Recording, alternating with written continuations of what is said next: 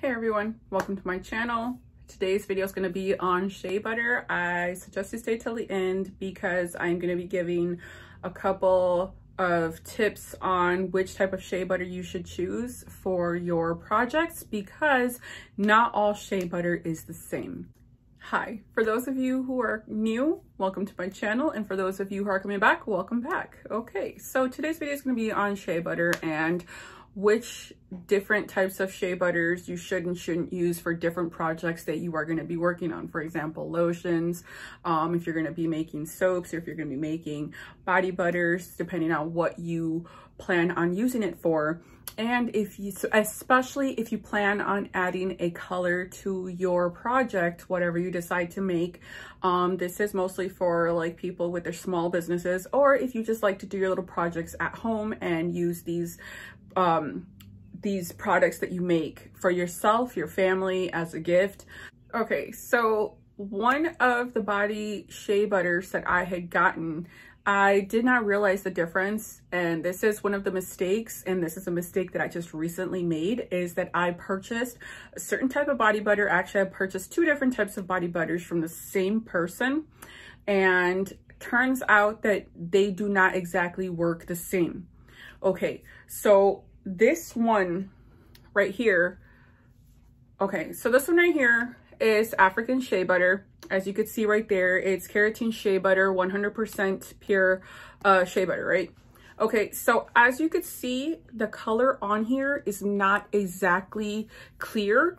It's, um, okay, so this is what I did was that I went to the store and I was actually going to different stores and I was trying to locate shea butter where I could find someone that could provide the shea butter without me having to order it online for if I get orders because I am about to launch my store, my uh, small store and everything.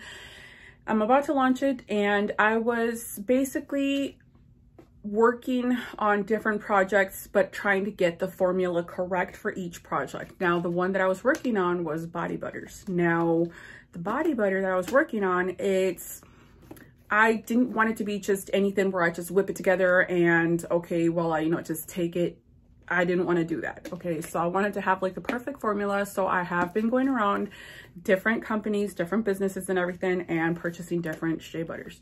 So right now this video is going to be just on one that I purchased and from a certain store. I'm not going to give the name. I'm not going to give the location or anything because I don't, uh, her stuff is her stuff, her store, you know, and everything. It's working for her and that's her business and I'm not going to mess with her business. Okay, so but one of the things that I will say is that, okay, so this right here, if you see a website on here whatever, that's not what it is. Um, okay, so what I did was that I found this one.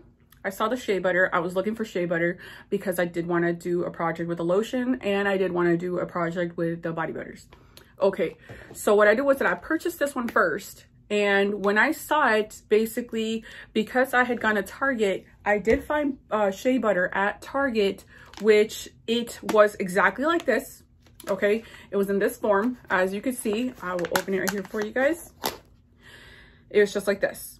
Okay, this is, I found this one at Target and it was like $7 for hmm, 10 ounces. It says it right there, 10 ounces. Okay, so this jar here alone was about $7. Okay, so when I was searching for body butters, I was looking for someone who would have a better price and everything. So what I ended up doing, one of the big mistakes that I made was that I just wanted shea butter. That's it. I thought that shea butter was just only shea butter and that's it. You just need to have it in your project and that is just no. Okay, so different shea butters kind of work differently. Like the raw unrefined 100% um, raw shea butter is different than a shea butter that has been um, worked with and done something different too. So now if you pay attention to the two colors of these shea butters, can you see that? Okay, so if you pay attention to this one and then you pay attention to this one, you can see that this one's lighter than this one, right? So now when I first worked and I did my body butter, I was wondering, I was like, okay, so when is it gonna turn white, right? Because when you're whipping it, you wanna get that air into it. I was working on the body butter project when I just realized that it's just, it's not lightening up for anything. And at first I thought it was the oils, but no, actually it wasn't the oils. The oils are kind of yellowish, but it's not only the oils that were making the shea butter yellow. Actually, what was doing it too was this. It was shea butter. The shea butter that I had added, right? Because the other ingredients that I added, some of them had color, some of them didn't, which I didn't add that much. Um, this is not, um, I'll do a recipe one later, a video on, uh, shea, on body butters and lotions. Okay. But right now, what I want you guys to, what I want to tell you guys, what the information I'm trying to give to you guys is that if you look at this one, I'm going to open it here for you guys. I'm going to show you guys a different type of texture on both of them. Okay, so if you see this one right here, it's like really like stuck together, everything. It's, uh, it's yellow. It's like really, really stuck together. As you could see right there, I literally had to stick a knife in there and a spoon. So I was like spooning it out. I was just trying to like, I was struggling to get that out. Okay. It is soft. Don't get me wrong. It is soft, but it's all crammed in there. Now I'm to let you guys know in a little bit exactly what the lady did to make it like that. Like I didn't understand the difference between shea butters. I just thought shea butter was just shea butter, but actually it's not. Okay. And then if you see this one, you can see the squares and everything and it's not really um all in one so the thing that she did okay this right here is raw shea butter so if you are working on projects like body butters lotions whatever that you want to color unless this one right here and this one right here this one right here is not really a good shea butter to work with if you are going to be coloring your projects because unless you're trying to do just like a plain Jane lotion or plain, you know, just basically plain no, um, no colors, no nothing. You just want to do more like of a plain project. You could definitely go with this one. But if you are trying to add colors, if you are trying to make your colors pop, if you're trying to get a certain type of color, you want to work with the unrefined cocoa butter. I mean, shea butter. I am so sorry uh, with the unrefined shea butter because when you whip this, after you whip it for a while, it will fluff up and it will turn white. It will turn white, white. So whatever color you add to it, you won't have to add as much trying to get the color into this one, which is what I did. I was like, what am I doing wrong? Like, what is going on? Like, it's just not catching the color. What did I do wrong? But it's actually not that I really didn't. Well, actually, my thing was that I was supposed to look for raw, unrefined shea butter. Okay, so that was one of my mistakes right there. So what you want to do is that you want to find uh, the raw, the raw, unrefined shea butter if you want to work on projects, especially ones that you are going to be coloring. Now, it works exactly the same. It's perfectly fine. Now, what the lady, okay, one of the things the lady did was that she melted this. Okay, so when I went back, my mistake was that I was just like, during the time that she, during the time that she had told me, yes, she has a bunch of shea butter, I was so excited. But the thing, I'm going to let you know why I was so excited. This is why I was so excited. Okay, now shea butter is not exactly that cheap. So basically when I saw this price right here, $11.99, I was like, oh my God, this is what, two pounds? Yeah, you see it right there, 32 ounces. I was just like two pounds, you know, for $11.99. I'm like, you can't beat that. I'm going to keep coming to her. And it's like, I found out the hard way when I actually bought another jar. I bought another one and I have more there on the side, which I am going to use. It It's okay. It works perfectly fine. It's fine. But the only difference is that she can't call it raw or unrefined because she melted it. And she didn't just melt it like on heat over uh, like a double boiler. What she did was that she melted it in her microwave. So she makes it, but then she also melted it in the microwave, which gave it this color. And then she just poured it in and then let it get hard. Let me open this for you guys. Hold on.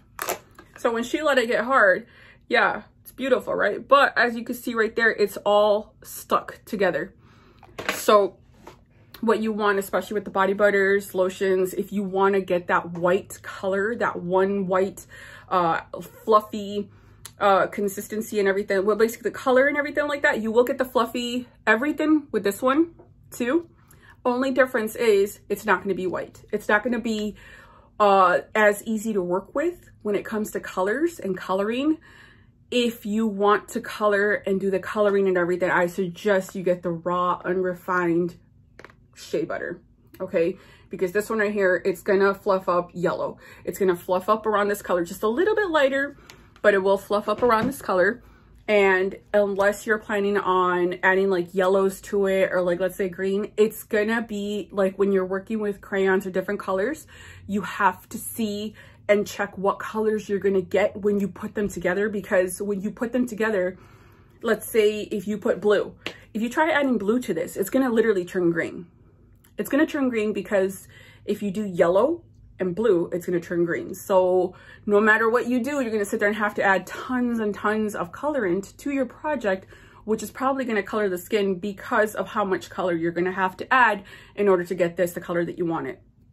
Okay, so that was that. Yep, uh, shea butter is, I'm gonna make a video on where I now get my shea butter, but yes, I also did the mistake of buying these two.